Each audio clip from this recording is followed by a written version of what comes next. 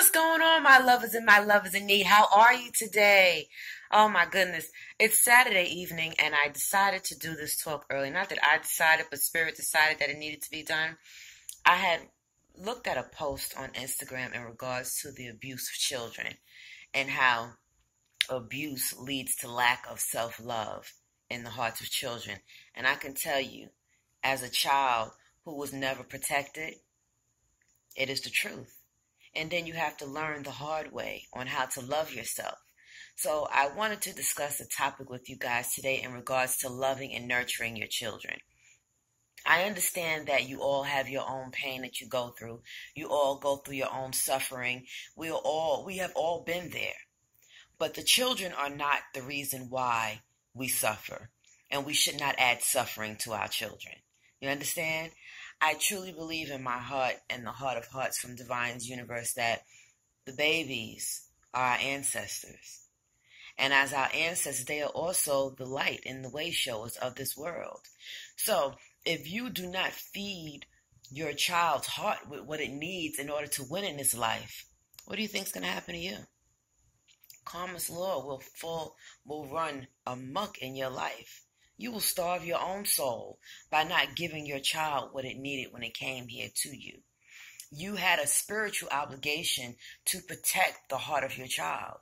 So if you allowed someone to harm your child, if you allowed anything to go wrong that you and you knew you could have been been, you know, the force to prevent it, and you did not, and you didn't protect your child, then listen, you have to hold yourself accountable because let me tell you something the universe most definitely will. Our children are innocent. They're angels and they're beautiful and they deserve love. No matter how much pain you've been in, no matter what you went through in your life, no matter how many lies you were told, your children deserve to receive love, light, and truth. They deserve to be free. You do not, you got to understand that you know, yes, we do need to discipline our children and guide them right, but it doesn't mean that we control and dictate every move that they make because you want your children to know that they're free. One thing about me, lovers, I allow my children to be free. I allow them to speak their truth, and I always let them know as long as you tell mommy the truth, you will not be in trouble. But if you don't tell mommy the truth and you lie to me, then there will be repercussions for your actions. I've always been that driving force to do my best to teach my children right from wrong. I went through so many series of abuse as a child. You know, I was, I, I, lost my innocence by the time I was about seven years old. You know, I had nothing but predators on my paternal side.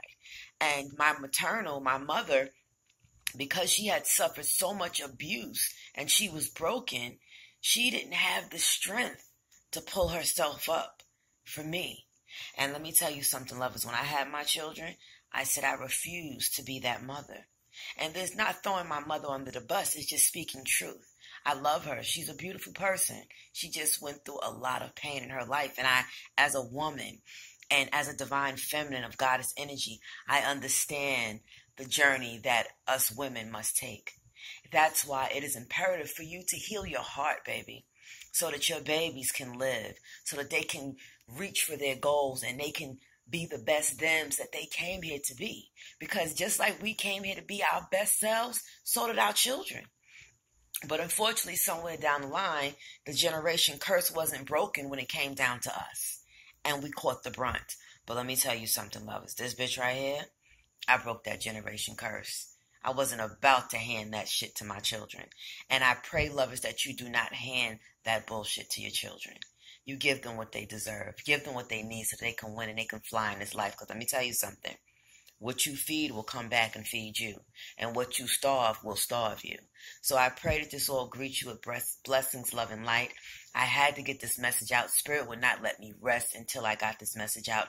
And I just want you to understand how important our children's heart was.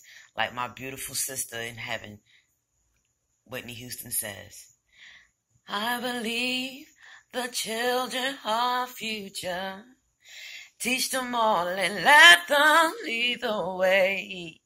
So when you know that your children are the future and you know that they're the ancestors, you got to give them the light they need to succeed, baby.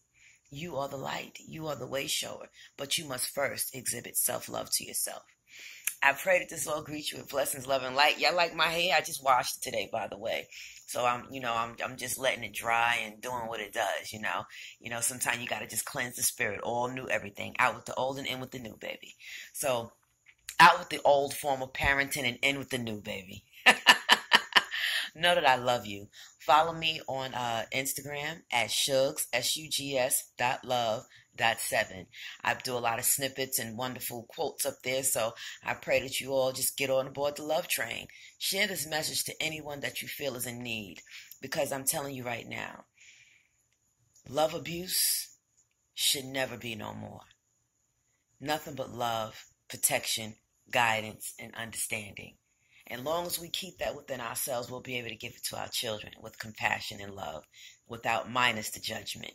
Because sometimes as we make mistakes, so do our children. Peace, lovers. I'll see you soon.